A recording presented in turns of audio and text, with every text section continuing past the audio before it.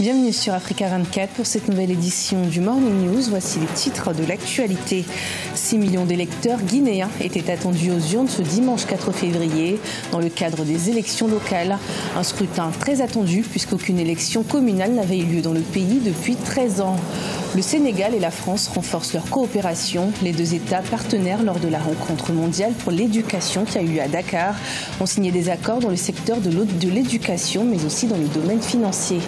Et puis au Nigeria, les populations locales s'investissent dans la lutte contre le cancer, un fléau qui touche des milliers de Nigérians qui manquent souvent de soins mais aussi d'informations.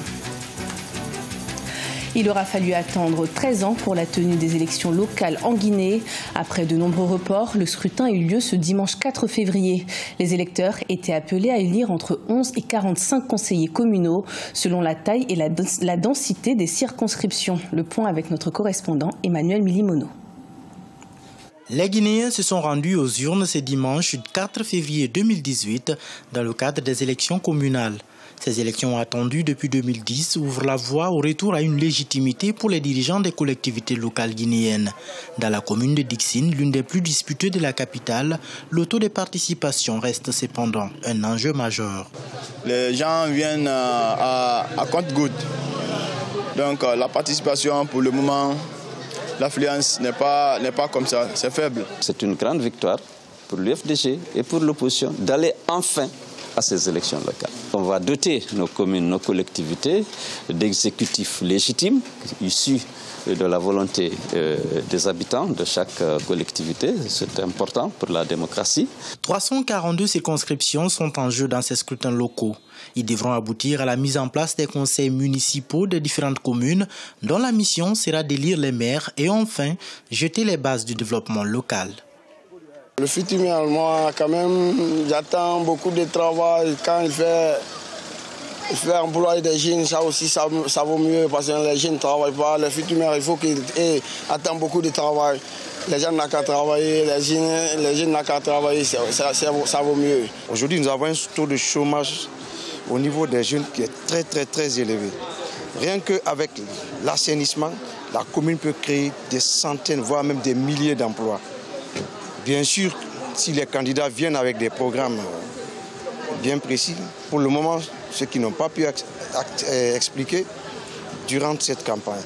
Plusieurs fois reportées, ces élections devaient se dérouler en 2010, date d'expiration des mandats des conseillers municipaux élus en 2005. 1300 listes de partis politiques ou de coalitions de partis politiques, ainsi que des listes indépendantes disputent les 342 mairies urbaines et rurales. La Guinée se dotera à l'issue de ce scrutin du 4 février 2018 de conseils municipaux légitimes à la tête des entités décentralisées. La troisième édition du Partenariat mondial pour l'éducation qui a eu lieu à Dakar a été l'occasion pour les deux pays organisateurs, le Sénégal et la France, de renforcer leur coopération. En effet, les deux États ont annoncé la création d'un campus franco-sénégalais, mais aussi la commande de deux avions de type A330 pour la compagnie nationale Air Sénégal. Des détails avec Ibrahima Dioumaba. Les relations diplomatiques entre le Sénégal et la France se voient renforcées. Les deux pays ont signé de nouveaux accords de partenariat vendredi 2 février 2018 à Dakar en marge de la visite du président français Emmanuel Macron. Le domaine de l'éducation et de la formation s'est renforcé de nouveaux accords avec la création d'un campus franco-sénégalais à Djamnyadjo alors que les deux chefs d'État ont inauguré un collège d'enseignement technique à Dakar financé par l'Agence française de développement à hauteur de 200 milliards de francs CFA, d'un coût total de 568 milliards de francs CFA. Vous voyez le résultat pour moi est le plus beau, parce qu'il va permettre à des jeunes Sénégalaises, des jeunes Sénégalais d'apprendre. Et nous allons aussi former les professeurs.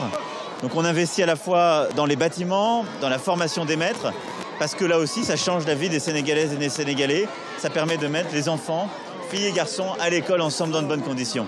Donc je suis très fier de ça et c'est l'esprit de notre coopération. Le domaine des infrastructures est un secteur stratégique de la coopération entre le Sénégal et la France. Le Sénégal a commandé deux avions de type Airbus A330 nouvelle version pour la compagnie nationale Air Sénégal. Le projet du train express régional confié à des entreprises françaises a fait l'objet d'une visite de chantier par les deux délégations. Elles ont eu droit à une présentation du projet.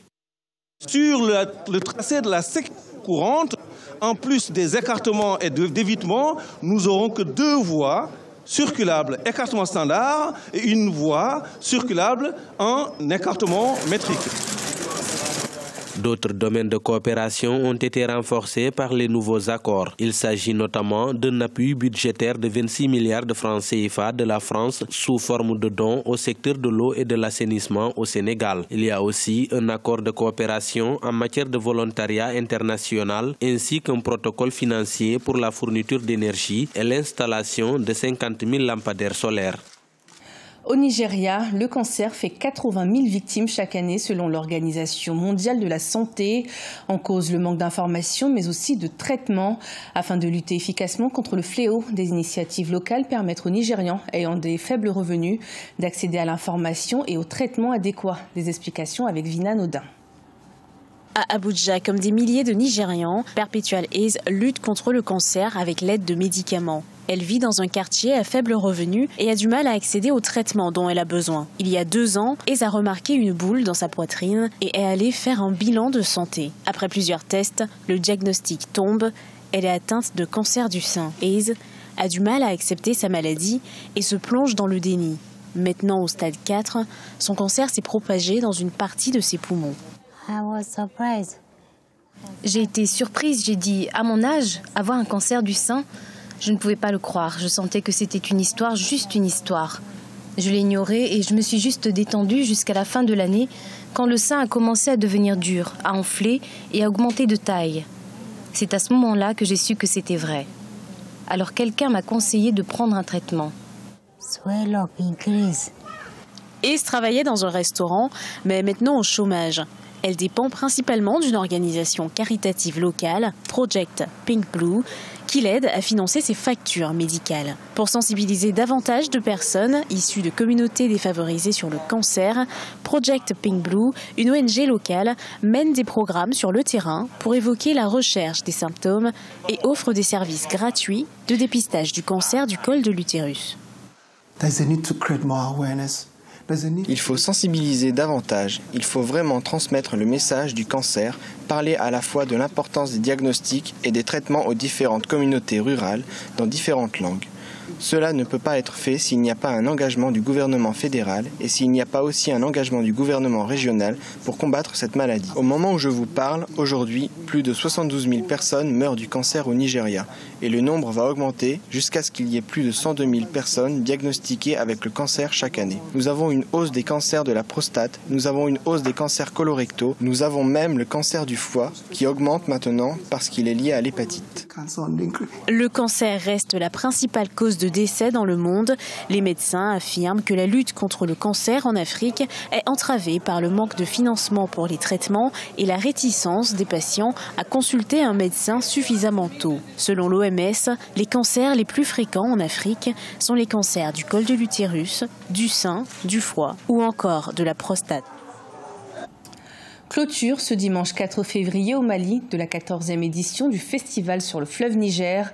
Au fil des années, l'événement est devenu incontournable en rassemblant différentes cultures africaines, mais également car il est un moment d'évasion pour une population malienne touchée par le terrorisme. Découverte avec notre correspondant Mokhtar Bari. Né de la volonté des acteurs culturels et touristiques afin de redynamiser le secteur du tourisme, le festival sur le Niger est devenu depuis sa création en 2005 un rendez-vous culturel incontournable au Mali. Avec des activités multidisciplinaires, le festival rassemble des artistes venus de plusieurs horizons.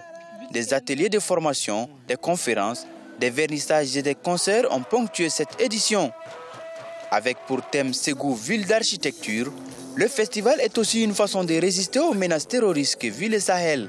Ce festival est notre fenêtre et notre poche de résistance contre la barbarie et pour dire que les Maliens vont toujours se réjouir parce qu'on va se réjouir ensemble. Il faut que tous les Maliens se l'approprient et qu'on se dise que vraiment c'est notre bonne fenêtre, une de, de nos grandes fenêtres d'ouverture pour notre culture, pour la sauvegarde de notre culture malienne, africaine, parce qu'on est panafricain. Pour boucler cette édition en beauté, Marema du Sénégal, Motokochi du Zimbabwe, Kamaldine de la Guinée, Nampé Sadio, Habib Kouate et Salif Keita du Mali ont donné un grand concert sur les berges du fleuve devant des milliers de spectateurs. Il faut savoir que le festival de Ségou est devenu un label sur le plan africain en termes de festival, pour la simple raison qu'au bout de la 14e édition, on a quand même une certaine euh, euh, maturité, une certaine expérience au niveau de l'organisation, mais aussi au niveau de, au niveau de la programmation. chaque trois ans, je suis invité à ce festival, et ce festival pour l'eau l'eau, notre sang, le sang du Mali, le fleuve Niger, pour qu'on puisse euh, converger nos esprits, nos idées vers ce fleuve qui est en train de s'assécher. Et aussi, le moment est très très très fort comme symbole parce qu'aujourd'hui tout le Mali est là ici à Ségou euh, dans, l'ambiance, dans, l'entente. En rappel, chaque année au mois de février, la ville de Ségou attire des milliers de touristes venus du Mali, mais aussi d'autres pays. En attendant, le festival se poursuivra dans le Mali avec d'autres activités à travers le circuit Manding, un cadre d'échange culturel en Afrique de l'Ouest. Ce journal a été préparé par l'ensemble de la rédaction. Merci de nous avoir suivis. Retrouvez dans un instant une nouvelle édition de l'information sur Africa 24.